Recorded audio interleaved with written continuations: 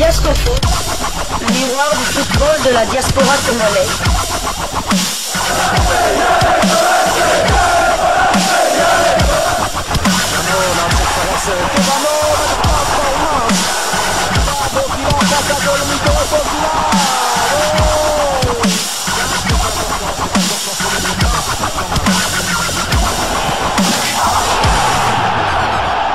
Diasco Foot, le miroir du football de la diaspora congolaise. Vous êtes sur Diasco Foot, le miroir du football de la diaspora congolaise.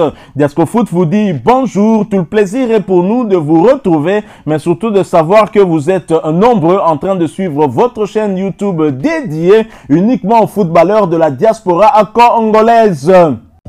C'est l'heure de partager avec vous quelques news que nous avons pu récolter pour vous, des news concernant certains de nos internationaux ou des binationaux qui se sont illustrés dans leurs clubs respectifs.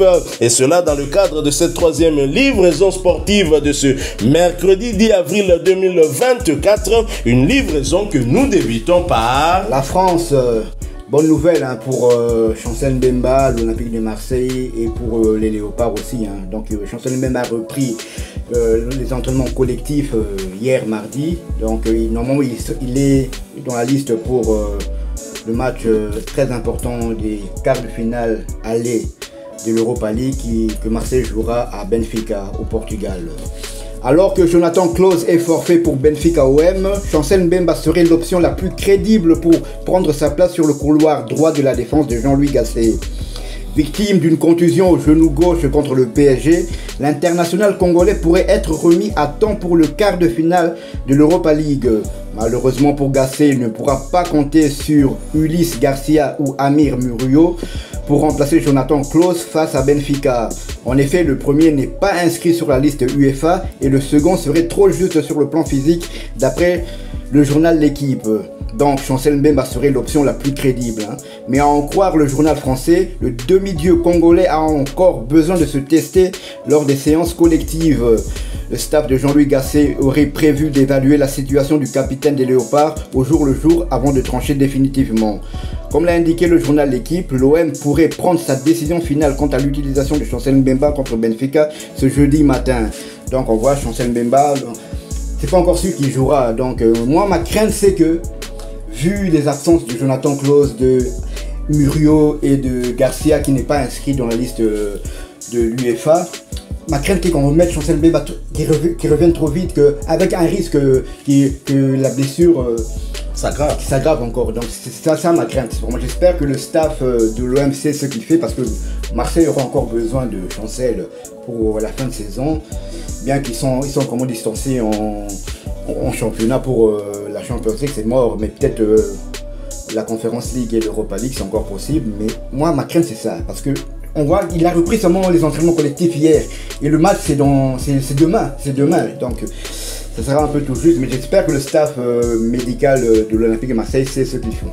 Je n'aimerais pas en tout cas être à la place de Jean-Louis euh, Gasset. Une situation difficile pour l'Olympique de Marseille qui a perdu beaucoup de joueurs, beaucoup de défenseurs, notamment euh, Klaus, hein, qui euh, une fois de plus sera absent. C'est vrai qu'il y aura risque si Chancel Mbemba revenait, qu'il était euh, dans ce couloir droit de la défense marseillaise, hein, parce que là, ce sera très certainement un match avec une très forte intensité. Et c'est vrai, la crainte serait de voir sa blessure s'aggraver et ça, ça aura certainement un impact sur euh, des conséquences en tout cas sur sa convocation en sélection si jamais Chancel Mbemba euh, devient en tout cas à, être euh, indisponible. Bon, enfin, on va voir comment la situation va évoluer et c'est vrai qu'il n'y a pas trop de marge de manœuvre hein, du côté de Jean-Luc Gasset. Alors nous allons quitter la France, nous allons cette fois du côté de l'Angleterre, en Angleterre où l'on jouait la 41e journée de Championship, championnat anglais de deuxième division.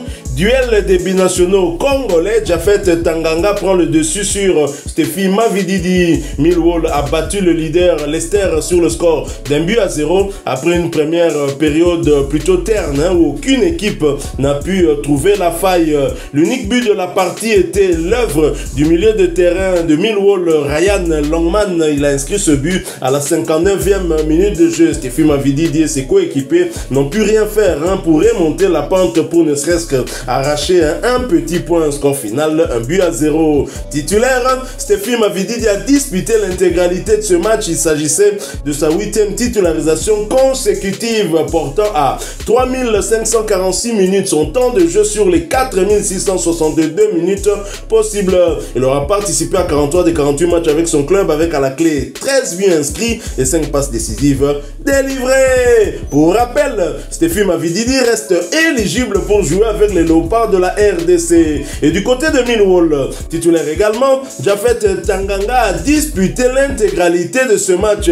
A noter qu'il s'agissait de sa dixième titularisation consécutive également. Jafet Tanganga voit son temps de jeu porté à 1282 minutes sur les 1448 minutes.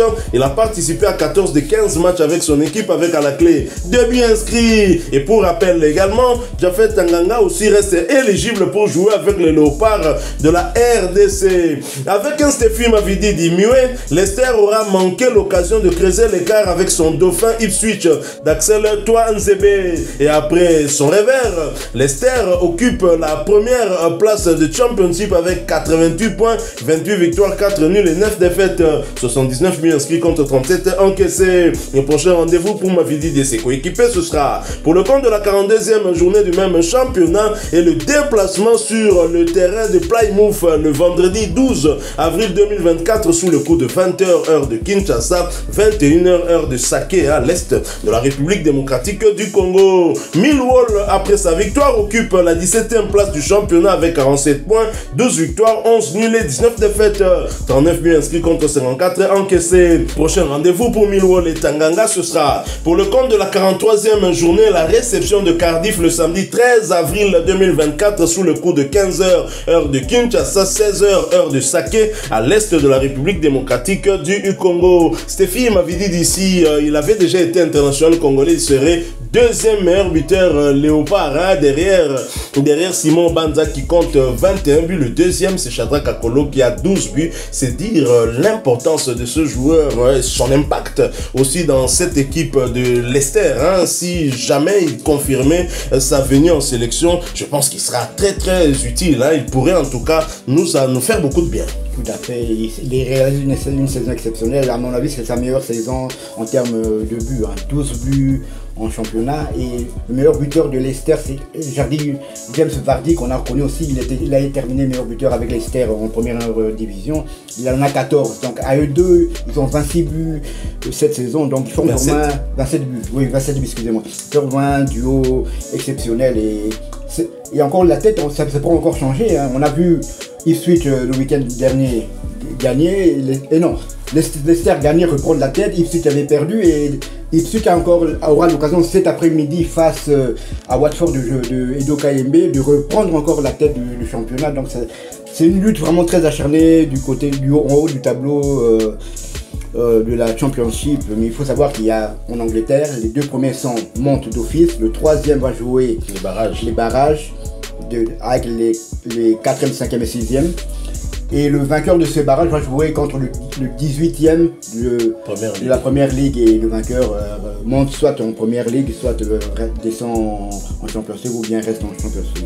Leicester 88 points suivi de Ipswich 87 points, mais maintenant ils ont le même nombre euh, de matchs puisque Ipswich va jouer ce soir face à Watford de KMB Jérémy Ngakia. Ipswich, même si Ipswich arrivait à gagner, aura un match de plus par rapport à Leicester. Donc c'est euh, Leicester a manqué, hein, je l'ai dit, hein, l'occasion de creuser l'écart face à ce dauphin qui ne lâche rien. Ils recherchent euh, eux tous hein, de monter. J'espère que ce sera soit ces deux clubs hein, où il y a des binationaux congolais qui peuvent rejoindre la tanière. D'autant plus que Leicester aussi est en, lice pour euh, recruter euh, Simon Banza. Donc euh, tout on à fait. vraiment que ces deux équipes vont... On en parlé tout à l'heure. Nous allons cette fois-ci du côté de l'Égypte où l'on jouait la 14e journée de la de l'Egyptian Premier League. Victoire nette et sans bavure des Pyramides FC 04 sur le terrain de El Gouna. Titulaire, l'international congolais Fiston Mayele Kalala a disputé l'intégralité de la rencontre et ce pour la deuxième fois consécutive. Malheureusement pour lui, il ne s'est pas montré décisif malgré la sévérité du score en faveur de son équipe. Cette saison, il a passé 1728 minutes sur les pelouses, 22 matchs joués sur 24. Il a marqué 6 buts toutes compétitions confondues et délivré 3 passes décisives. Les Pyramides FC prennent provisoirement la tête du championnat avec 29 points en 14 matchs, 8 victoires, 5 nuls et 1 défaite, 20 buts marqués et 10 buts encaissés. Prochain rendez-vous, ils se déplaceront sur le terrain de Hal Mokaulun le lundi 15 avril.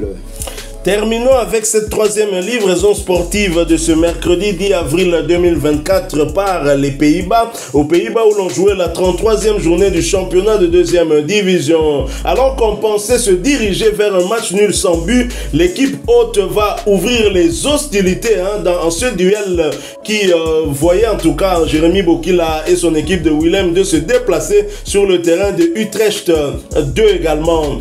Anthony Descott ouvre le score à la 86e minute, puis euh, le coéquipier de Jérémy Bokila, Jérédy euh, Ilterman, va remettre les deux équipes à égalité dans les temps additionnels à la 91e minute. Euh, un but plus qu'important hein, qui leur permet finalement d'éviter la défaite dans leur quête de rejoindre l'élite néerlandaise la saison prochaine.